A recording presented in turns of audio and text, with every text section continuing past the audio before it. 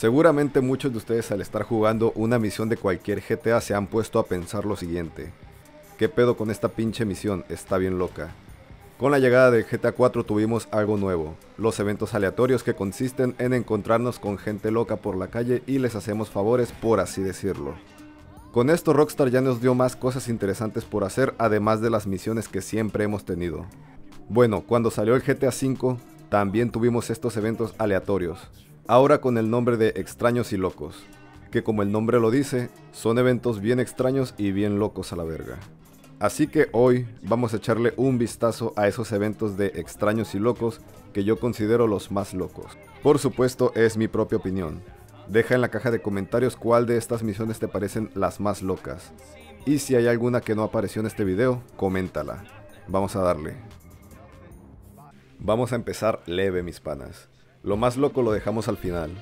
Empezaremos con este güey, se llama Barry, al parecer este cabrón está recolectando firmas para que legalicen la hierba del diablo. Si usamos a Michael, Barry nos ofrecerá probar su producto para checar que es de buena calidad según él. A lo que Michael se niega, diciendo que él no consume drogas. Muy bien Michael, ibas muy bien. Pero este güey no te insistió más de dos veces cuando decidiste tomarle la palabra y llenar tus pulmones con esa madre.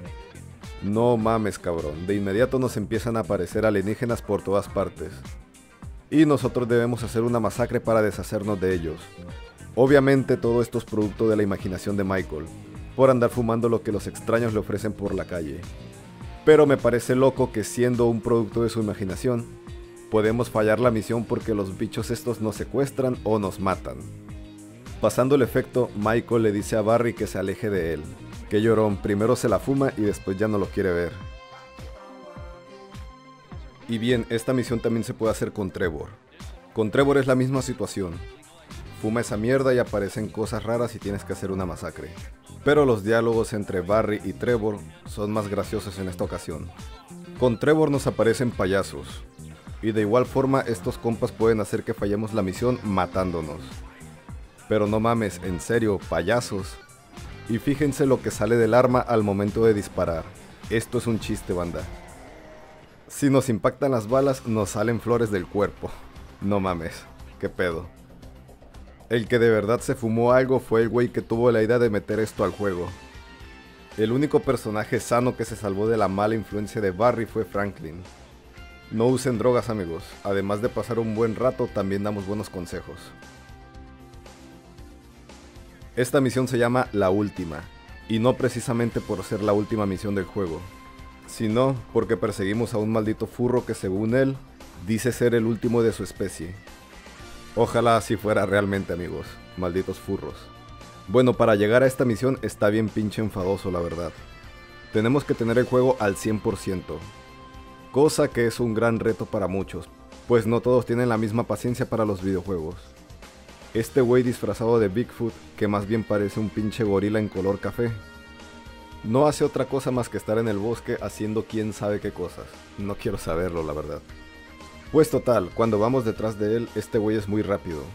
Y también algo muy curioso es que durante la persecución hay demasiados pumas por la zona. Pero ninguno de estos pumas ataca al furro, solo a nosotros. Este güey lleva demasiado tiempo en el bosque que ya se hizo compa de los depredadores.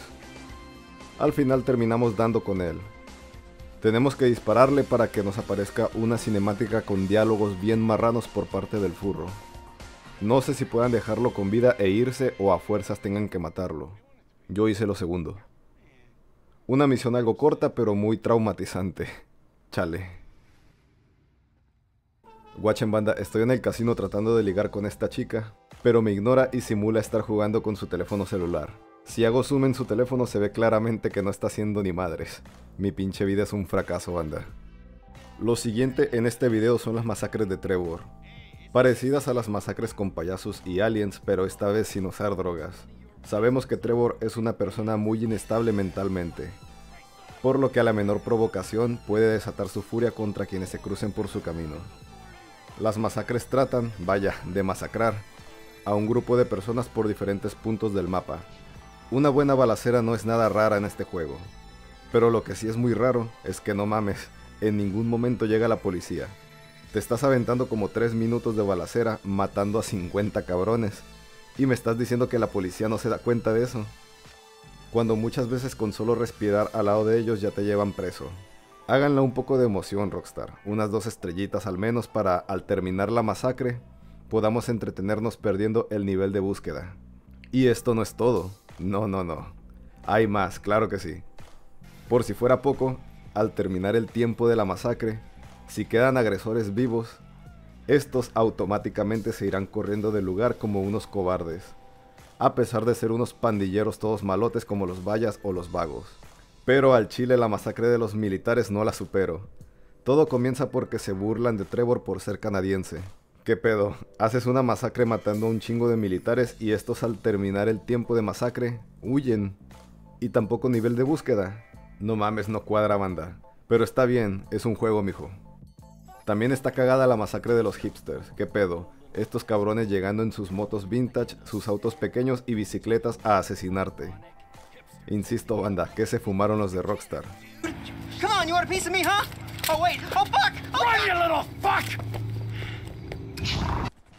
A ver, compas, ustedes se preguntarán qué es lo que considero más loco de extraños y locos. Pues aquí lo tenemos. Son las misiones de Dom. No todas, pero sí la primera y la última. Ustedes conocen a Dom, ese loco que nos hace completar saltos en paracaídas por toda la ciudad. Pero obviamente esto no es lo loco, esto es muy normal.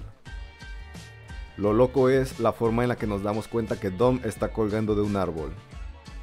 No mames, esto sí superó todos los límites de este juego. Franklin mantiene una conversación con un perro, sí, una conversación. Banda, es muy normal hablarle a tus perros, o a cualquier perro. Yo hablo con el mío obviamente, pero ni de pedo voy a poder traducir sus ladridos. ¿Qué pedo con Franklin? Entiende absolutamente todo lo que el perro este ladra. Ya todo lo demás no es nada fuera de lo común, son puros saltos en paracaídas y ya está. En la última misión, nos volvemos a encontrar con este mismo perro, y de nuevo Franklin y este se ponen a conversar. Banda, ojalá fuera así de fácil entender a los animales. Rockstar, tenías muy buen producto, eh, pasa el contacto de tu dealer, quiero ser más creativo. Y bueno, esta misión termina con Dom saltando desde una presa sin paracaídas. Que por cierto puedes disparar o hacer explosiones al lado de Dom antes de llegar con él y este las ignorará por completo. No hay manera de salvarlo, banda. Teniendo una muerte muy estúpida, por alguna razón él creyó que saltar así era seguro.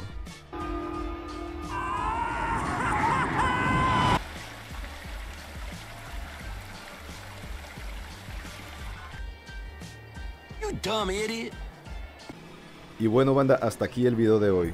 Espero les haya gustado, ya saben, déjenme su poderoso like y su comentario.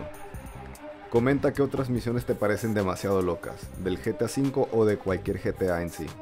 Les dejaré mi Facebook en la descripción del video para que vayan a seguirme. Aún no soy muy activo en Facebook, pero ya le estaré poniendo más atención. Me despido de ustedes deseando que la pasen excelente banda, nos vemos la próxima.